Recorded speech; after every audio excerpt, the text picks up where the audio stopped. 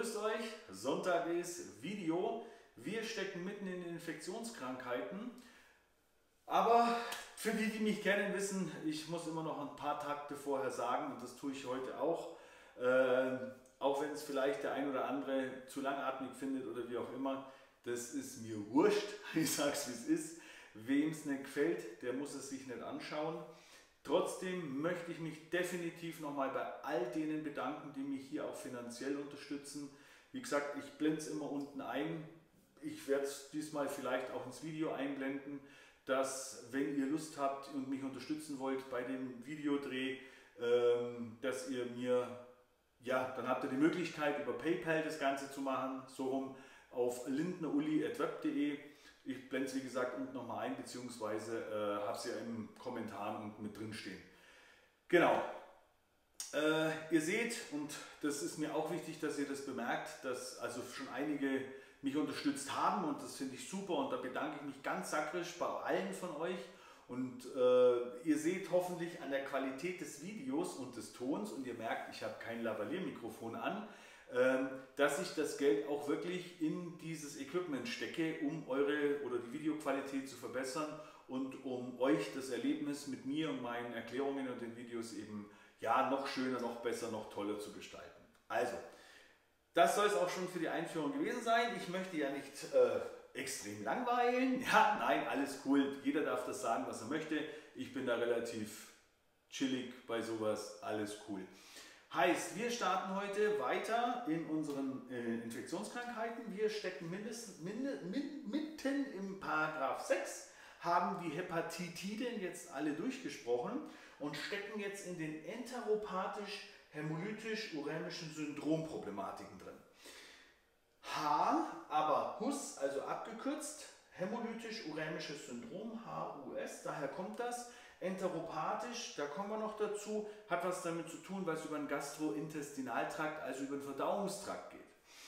Eine Krankheit, beziehungsweise zumindest ging es mir so, im Bereich des Lernens der Infektionskrankheiten war jetzt das HUS nicht unbedingt die Krankheit, die ich wirklich, äh, wo ich richtig Bock drauf hatte, ich sage es mal so rum, äh, bedingt dadurch, dass die Krankheit halt irgendwie, ja, äh, konnte ich jetzt nicht viel mit anfangen. So. Hm. Und dann gab es einen Vorfall, das ist noch gar nicht so lange her. Das Blöde ist bloß immer, ich sage das immer, weil ich das immer sage, vergehen die Jahre und irgendwann ist es dann doch sehr lange her. Also ich würde behaupten, es ist fünf, sechs Jahre her, gab es einen Vorfall in Deutschland, bei dem äh, Menschen gestorben sind. Und zwar gab es eben genau dieses HUS, das Gasser-Syndrom in diesem Zusammenhang. Und zwar haben die Leute dort ähm, ich glaube, es war Salat gegessen und dieser Salat, der hatte so Keimlinge drauf, also so, so angewachsene Kerne und so Zeug. Und die waren quasi verseucht und daraus entwickelte sich dann bei den Patienten oder bei denen, die das gegessen haben, eben dieses Huss. Und das ist sogar für einige dieser Patienten tödlich verlaufen, deswegen gab es da so einen riesen Hype, oder ja, riesen Hype, aber zumindest hat man es in den Medien schon mitbekommen. Denn die Frage, die sich stellte, war, woher kommt das? Also man hat bloß gewusst, was die gegessen haben, also diesen Salat oder beziehungsweise welche Nahrungsmittel die zu sich genommen haben. Jetzt hat man die Ursache, also die Quelle quasi gesucht. Und das war das große Problem. Und das hat eine ganze Zeit gedauert, bis man irgendwann auf diese, auf diese Sprossen kam und diese Sojasprossen oder was das auch immer waren, so Sonnenblumen, Keimlinge, irgendwie sowas. Und da ist man dann drauf gekommen, dass die eben mit diesen Keimen äh, verseucht waren, sage ich jetzt mal, kontaminiert, ist der professionellere Begriff, ähm, was dazu geführt hat, dass die Patienten krank wurden und einige sogar daran verstorben sind. Also das ist eine Sache, die wohl dann deswegen auch immer wieder vorkommt und das war ja jetzt der, der, der, der Haken im Prinzip oder der, der Aufhänger, dass, warum in Paragraph 6, erstens mal tödlich verlaufend und zum Zweiten natürlich die Infektionsketten. Also das nachzuvollziehen, wo kam der Erreger her, um dann eventuell äh, andere zu schützen, indem man sie warnt, sagt, hey, pass auf, das soll, muss aus dem Markt genommen werden, das darf man nicht verkaufen, nicht essen. Und natürlich auch, um äh, die Infektionsquelle ausfindig zu machen. Also das ist der Hintergrund. Deswegen meldepflichtig, allein schon bei Verdacht. So, gucken wir mal rein, was es ist. Hat irgendwas mit Verdauung zu tun, ne? enteropathisch, hat schon mal damit was zu tun. Der bekannteste Vertreter von dieser Gruppe ist der EHEC. Es gibt noch den ETEC und EH, also gibt es Varianten. Der EHEC ist der bekannteste. Und das ist quasi der, was man auch immer so ausspricht. Also man sagt in den wenigsten Fällen, oh, Hus, sondern man spricht immer von EHEC oder ETEC oder sowas. Ja? Das ist die Abkürzung für den Erreger. Denn Hus oder das Hus, das hämolytisch-urämische Syndrom, ist quasi eine Folge der Infektion mit EHEC und äh, ist eine Komplikationsform. Also das ist nicht sicher, dass wenn du, wenn du dich mit EHEC infizierst oder ETEC, dass es dann im Prinzip zu dem HUS kommt, zu diesem Glasser-Syndrom, sondern das ist eine Option und das ist natürlich eine blöde Option, weil das verläuft dann in vielen Fällen tödlich oder zumindest mit schwerwiegenden Komplikationen für dich in deinem Organismus, mit denen du dann später noch zu kämpfen hast. Also du kannst EHEC haben, das ist kein Problem und du kannst es überleben und das, da kann auch nichts passieren, aber wenn es blöd läuft, kriegt man halt eben dieses HUS. Grundsätzlich ist es ein gram-negatives Stäbchenbakterium. Das wird uns nachher noch beschäftigen. Äh, wenn ich mich richtig erinnere, habe ich das Video zu gram-positiv, gram-negativ schon gemacht. Wenn nicht, entschuldige ich das, dann wird das definitiv folgen, aber ich bin mir ziemlich sicher, ich habe es schon gemacht. Bildet ein Enterotoxin, also ein Toxin, das eben im Verdauungstrakt dann wirksam wird. Nicht pathogene Stämme davon leben in unserem Verdauungstrakt. Das heißt also, es gibt von diesem Escherichia coli, ne, enteropathisch-hämolytisches Escherichia coli, das ist die Abkürzung dafür. Und das ETEC ist enterotoxisches Escherichia coli. Ähm, diese Escherichia coli Bakterien, Kolibakterien, wir kennen das, die leben physiologisch auch in unserem Darm, sind aber halt andere Stämme. Und da gibt es halt die, die EHEC, ETEC, die halt dann entsprechend für uns gefährlich sind und die uns dann auch wirklich massiv krank machen können oder sogar umbringen, wenn es blöd läuft. Andere Erreger können auch einen Huss verursachen, da gibt es andere dazu. Also wie gesagt nochmal, äh, es gibt mehrere Erreger, die das verursachen können. Das große Problem, das daraus entsteht, ist das Huss.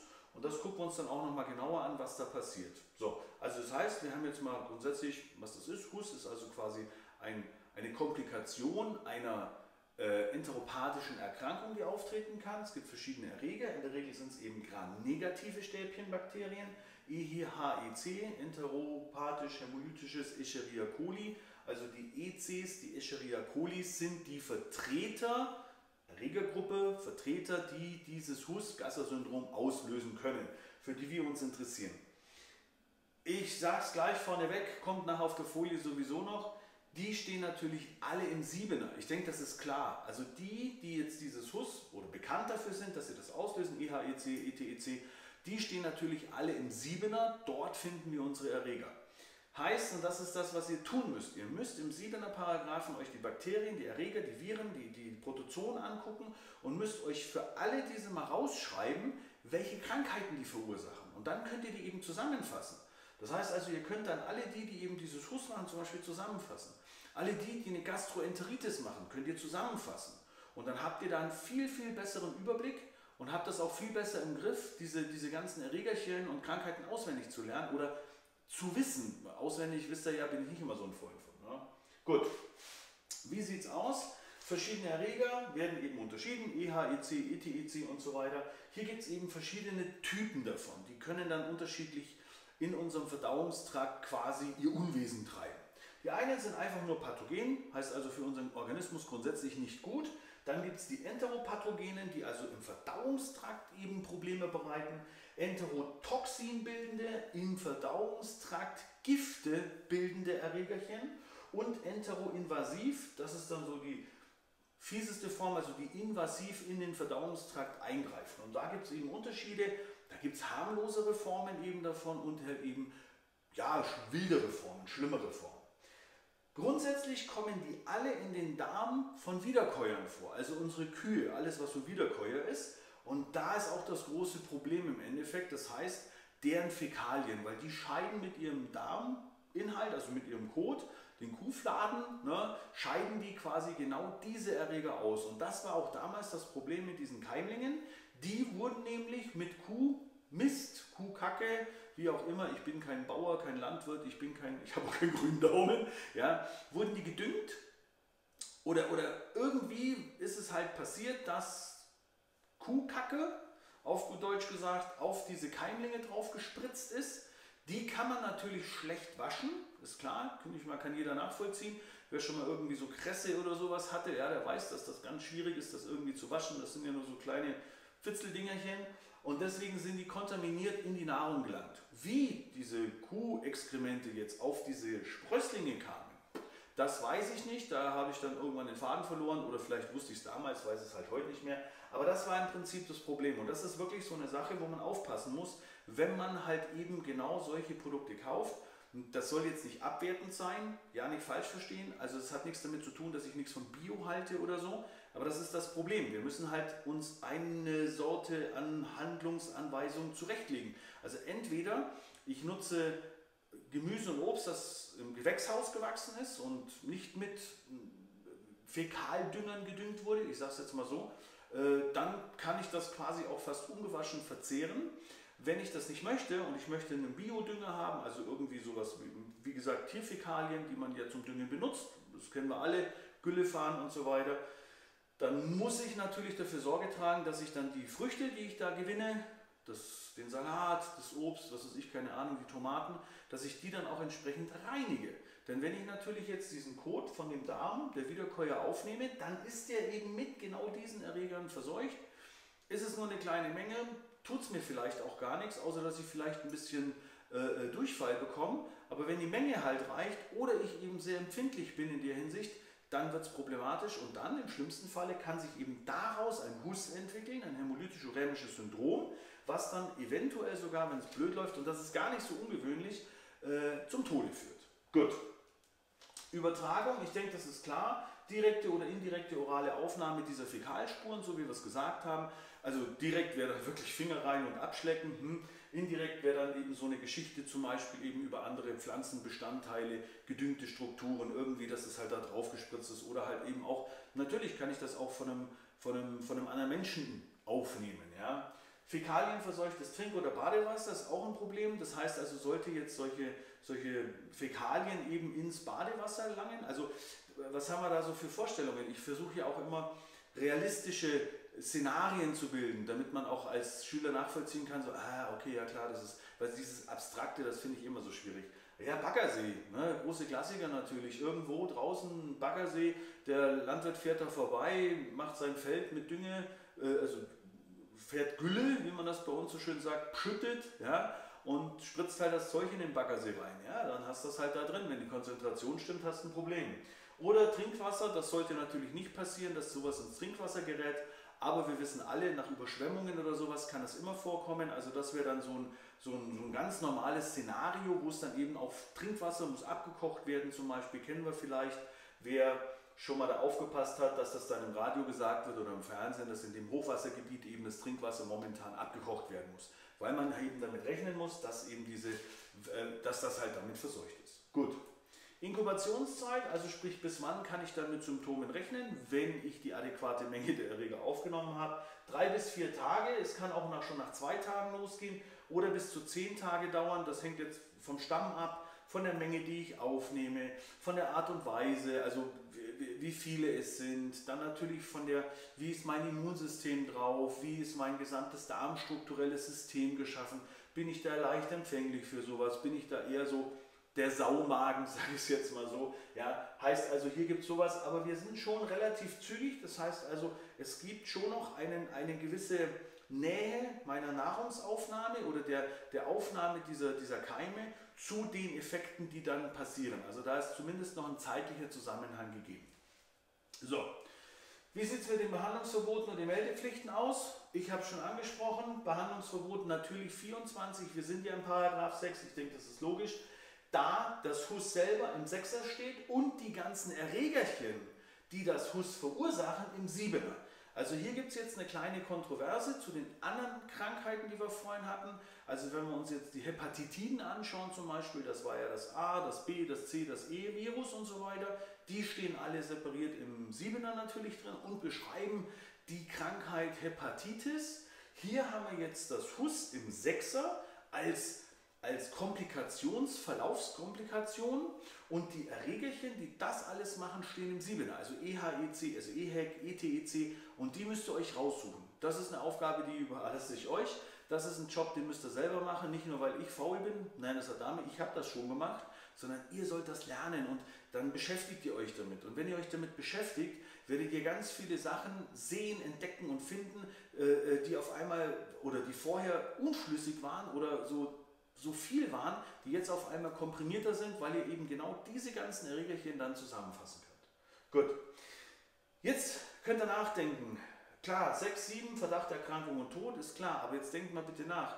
Wir haben ein, und so kann man sich das auch merken und draufkommen. Wir haben einen Erreger, fäkalorale Schmierinfektion, Wasser, Trinkwasser, Badesee hatten wir als, als Infektionsquelle. Wir haben äh, gesagt, auch direkt kann das übertragen werden. Nahrungsmittel können das übertragen. Aha. Heißt also, wenn ich, wir haben auch gesagt, physiologisch leben die in meinem Darm. Das heißt also, eine andere Gruppe davon, nicht jetzt die, die mich krank machen, aber bedeutet, wenn ich mich jetzt damit infiziere, scheide ich die natürlich auch aus. Logischerweise, weil es ja über den Verdauungstrakt geht. Und somit wäre ich natürlich potenziell infektiös, wenn es eine Gefahr gäbe, dass jemand mit meinem Code in Kontakt kommt. Und somit ist klar, dass ich zum Beispiel eben nicht mehr in Gemeinschaftseinrichtungen darf. Da geht es ja nicht nur um mich jetzt als erwachsener Mensch, weil ich jetzt Lehrer bin oder keine Ahnung, äh, was sagt man hier, äh, ähm, Erzieher oder sowas, also Kindergarten, sondern da geht es auch um die Kinder. Denn hier ist eher das Problem, dass man halt sagt, Mensch, Kinder sind halt, was die Reinlichkeit jetzt anbelangt, nach dem Toilettengang jetzt nicht unbedingt die besten. Ja, ich möchte ihnen gar nichts unterstellen, aber wir waren alle mal Kinder und wissen, wie das so läuft. Und deswegen ist hier die Übertragung einfach extrem hoch, die Gefahr der Übertragung. Und bei Tätigkeit und Beschäftigungsverbot, denke ich mal, ist auch klar, da geht es um Gastronomiebetriebe. Ich sollte mit so einer Krankheit nicht Koch sein oder halt äh, im Service arbeiten, weil ich dann natürlich logischerweise äh, eine hohe potenzielle Gefahr darstelle, alle meine Gäste mit dieser Krankheit zu infizieren. Gut, also ich denke, das ergibt sich aus der Sache heraus, ich finde es relativ logisch. So, wie ist es jetzt vom Verlauf her? Der Verlauf selber kann symptomfrei sein, nämlich genau dann, wenn ich diesen Erreger einfach so durchkriege. Also ich habe zu wenig aufgenommen, gar nicht so ein großes Problem, dann ist das im ersten Moment vielleicht gar nicht das große Problem, dass mir irgendwas auffällt. Ansonsten wird der Erreger oral aufgenommen und gelangt dann eben in den Darm und dort, dort vermehrt er sich jetzt und bildet jetzt sein Problem. Wir denken nochmal dran, der war gram-negativ, ne? kommen wir gleich. Heißt nämlich, es kommt jetzt zu klassischer Gastroenteritis, Brechdurchfall.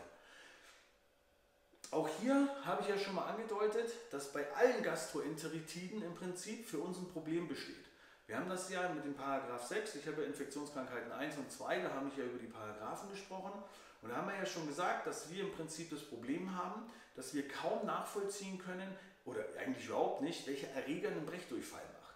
Und aus dem Grund, jede Symptomatik bei einem Patienten, die mit Brechdurchfall einhergeht, für uns automatisch bedeutet, dass wir mehr oder weniger ein Behandlungsverbot haben, weil wir eben keinen Erreger feststellen können. Kein Noro, keine, keine Salmonellen, kein was weiß ich, Norwalk-like, kein Rota, keine EHEC. Das ist genau das gleiche Problem.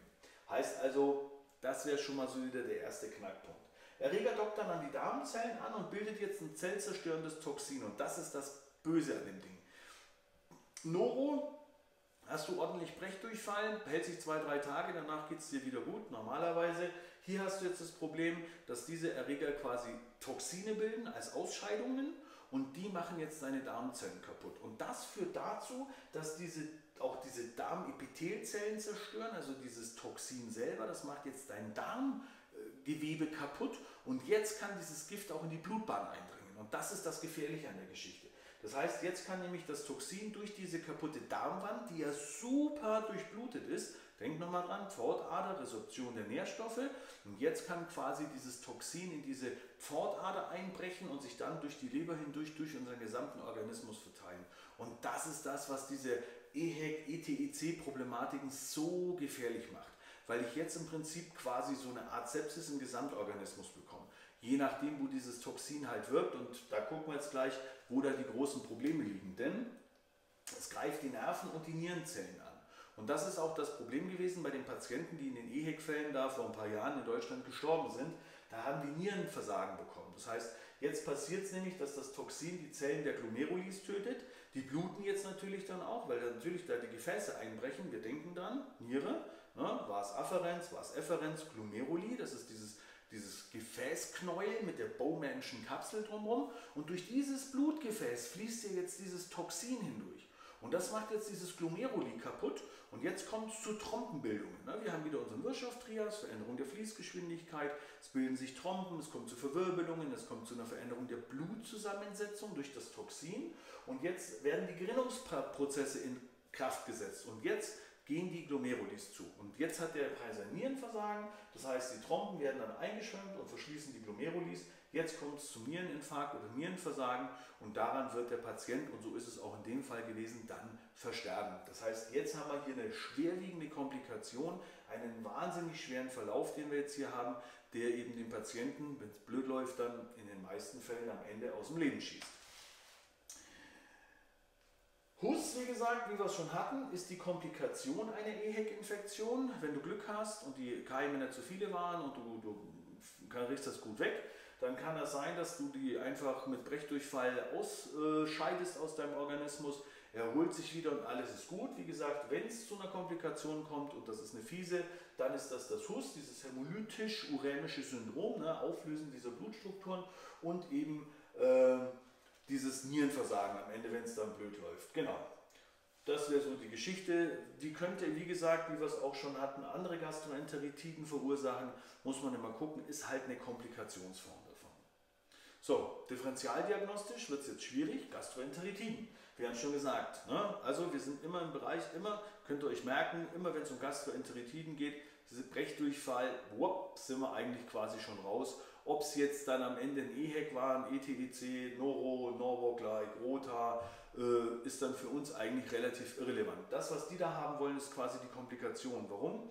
Weil viele dieser Patienten natürlich, und das wisst ihr selber von euch vielleicht oder auch von mir, ich weiß es von mir zumindest, dass ich bei einer Gastroenteritis nicht sofort zum Doc renne, sondern Brechdurchfall kriege ich, ich bin konstituell jetzt nicht der Schlankste, das äh, weiß ich, ja, ähm, heißt aber, dass ich so einen Brechdurchfall auch relativ gut ab kann. Ich, kann, ich habe ich hab ein bisschen was auf den Rippen, ich kann davon zehren und somit kriege ich das auch relativ gut alleine geregelt in den ersten paar Tagen. Und ähm, was eben dann genau das Problem darstellt, dass ich jetzt versuche, das selbstmedikamentös zu regulieren, durch was weiß ich, Zwieback, Cola, Salzstangen, ihr kennt die ganzen Hausmittelchen, vielleicht noch irgendwelche, was weiß ich, Imodium Akut-Tablettchen oder so. Und jetzt müsst ihr euch überlegen, was passiert. Das ist nämlich ganz entscheidend. Imodium Akut ist ein, äh, ist ein äh, Betäubungsmittel bzw. ein Präparat, das die glatte Muskulatur im Darm lähmt. Das heißt keine Darmparastaltik, die Bakterien bleiben jetzt also vor Ort und es hört mein Durchfall auf. Das ist zwar zum einen keine schlechte Sache, weil ich dann nicht mehr quasi die ganze Zeit auf Toilette muss und Durchfall habe, ist aber in der Hinsicht eine schlechte Sache, weil genau diese Erreger dann natürlich dort vor Ort bleiben und weiter ihr Unwesen treiben können. Und das ist jetzt das Problem, dass jetzt im Prinzip der Patient irgendwann dann doch zu uns kommt oder sich mit uns in Verbindung setzt und uns eben erzählt, dass er schon seit mehreren Tagen massiven Brechdurchfall hat und es ihm jetzt eigentlich sogar richtig schlecht geht, weil jetzt nämlich das Nierenversagen langsam dazu kommt. Genau, also das ist das, was man sich hier im Prinzip immer vor Augen halten muss. Gut. Wenn ich das durchgemacht habe, habe ich keine Immunität, ich habe keine Impfung, das funktioniert nicht. Ich kann das also immer wieder bekommen, dieses Problem kann immer wieder bekommen und die Therapie erfolgt meist symptombezogen und nicht mit Antibiotikum. Warum? Wegen den gramnegativen Bakterien. Ich habe am Anfang schon gesagt, wir kommen da wieder zurück. Ihr erinnert euch dran. Gramnegative Bakterien haben das Problem, dass auch die Zelltrümmer und der Inhalt des Bakteriums uns krank macht.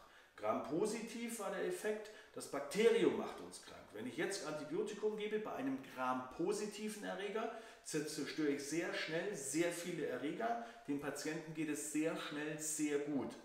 Gram-negative Bakterien haben das Phänomen, dass wenn sie eben durch Antibiotikum zerstört werden, du oder der Patient im Prinzip das Problem hat, dass er erstmal kränker wird, weil die Zerfallsstoffe des, des Bakteriums eben toxisch sind und jetzt kommt genau das Problem. Würdest du so einem Patienten ein Antibiotikum verabreichen, würden die Bakterien, also die EHEC-Bakterien, massiv zerfallen. Die Toxine würden noch massiver aus, ausfallen, also auftreten. Somit würde sich die Darmschleimhaut noch mehr zerstören, noch mehr vergiftet werden und die Gefahr dieses Niereninfarkts wäre noch höher. Deswegen ist das das große Problem, dass man hier sehr vorsichtig und langsam sein muss und in dem Fall eben kein Antibiotikum geben darf. Ne? Zerfall der Bakterien würde zu einem extremen Toxinanstieg führen und den Verlauf der Krankheit natürlich massiv verschlechtern und nicht im positiven Sinne beeinflussen. Okay, das soll es zum Hus gewesen sein. Hm, dazu haben wir jetzt alles erklärt. Ich denke, jetzt sollte jeder nachvollziehen können, wo das Problem liegt. Lasst euch das nochmal durch den Kopf gehen, denkt nochmal ein paar Minuten drüber nach. Auch über die Variante eben, wie, wie stecke ich mich an, heißt Risikopatienten, Risikopersonen, Landwirte, Leute, die eben mit, mit Wiederkäuerfäkalien zu tun haben, also der Knecht, oder ich weiß nicht, ob es sowas heute noch gibt, aber der Landwirt definitiv, die Landwirtin, die halt eben im Stall äh, äh, äh sauber macht und äh, aus Versehen einen Spritzer ins Gesicht kriegt oder in den Mund oder in die Finger oder sonst irgendwas. Dann natürlich Nahrungsmittel, die damit kontaminiert sind. Heißt also auch hier sich zu überlegen, bei Patienten, die über solche Symptome klagen, mal nachfragen, hm, wie ernähren Sie sich, also jetzt nicht vegan oder sowas, sondern wo kommen Ihre Produkte her? Holen Sie die eben, was weiß ich, beim Landwirt ums Eck? Haben Sie denn selber ein Feld? Das gibt es auch, was weiß ich, so Schrebergärtchen oder sowas, die sich dann sogar wirklich ähm, ja, Tierfäkalien, also Tierdünger holen und das dann damit quasi biologisch zu düngen. Kann man machen, ist alles cool, aber dann müssen diese Sachen eben adäquat gewaschen werden, äh, um sie dann eben überhaupt verzehren zu können. Also da muss man immer so ein bisschen dran denken. Gut. Soll es für heute gewesen sein? Hust haben wir durch. Wir machen nächsten Sonntag weiter. Nächste Infektionskrankheit. Jetzt muss ich gerade überlegen, was als nächstes ankommt. A, B, C, D, E, F, G, H. I, K, L. Oh, ich habe keine Ahnung. Ich lasse mich überraschen. So wie ihr auch. Ihr könnt ja im Infektionsschutzgesetz nachschauen. Das, was nach Hust kommt, das ist das nächste Mal dran. Ich bedanke mich bei euch. Danke nochmal allen, die mich hier auch unterstützt haben, auch finanziell. Wünsche euch noch einen schönen Restsonntag und eine ruhige Woche oder eine zumindest mal wieder einigermaßen normale Woche, so gut wie es geht. Bis nächsten Sonntag. Ich wünsche euch was. Ciao.